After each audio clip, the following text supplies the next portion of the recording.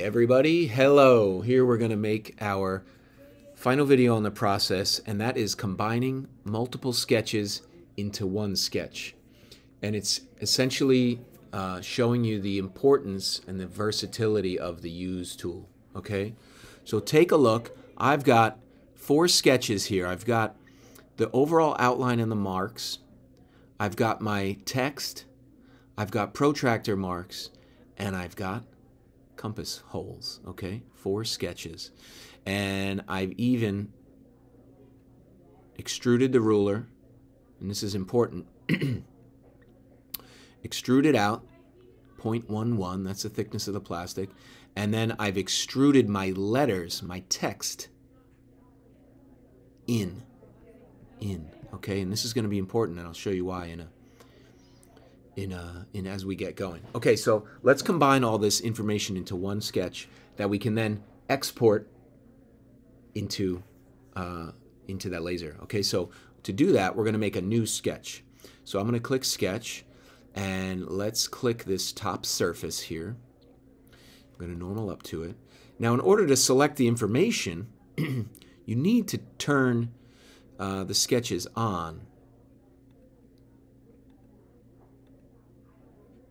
Okay, so you turn the sketches on, and remember the use tool is right here. It's project. Okay, it projects details into your current sketch. Project edges or faces into the current sketch. So all we need to do is select the tool, and we're going to click and drag a box around everything. and you're going to see it's going to slowly bring everything into a new sketch. Let it think here. It's a lot of details. And then what we'll do is we'll turn all our sketches off and you will see that we've got it all. Okay, so there it is. It says some entities could not be projected. Okay, that's fine.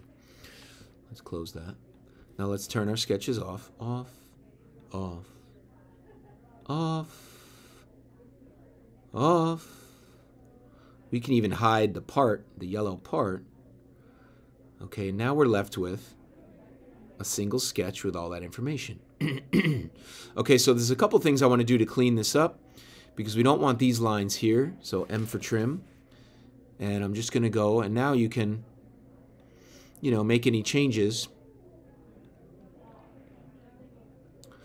Okay, and I notice that it puts the boxes around the letters. All right, I don't want all these all these boxes. That's going to be a pain to erase. So here's what we're going to do. Let's just kill that, cancel that.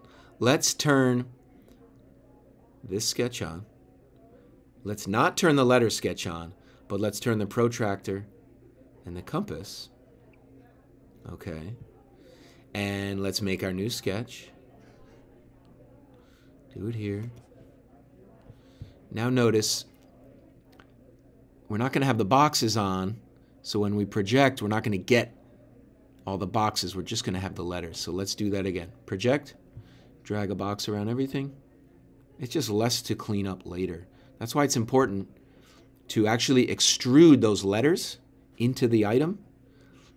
Because if you don't extrude the letters into an, a part, all you'll get is the boxes of the letters. You don't want the boxes, you want the actual letters. There, now we don't have to clean up a million box lines around the, the text. So I'm using the M for trim and I'm getting rid of the ex excess here. and we're going to have one, we're going to have one um, sketch that we can then export as opposed to exporting all these things. So that's a handy way to get to the laser. All right, I don't need this line, nor do I need this or this. Right, NV, oh, looks good. Let's keep going down here. I don't need this little line. These are little details, but you know what? I'm going to just roll with it.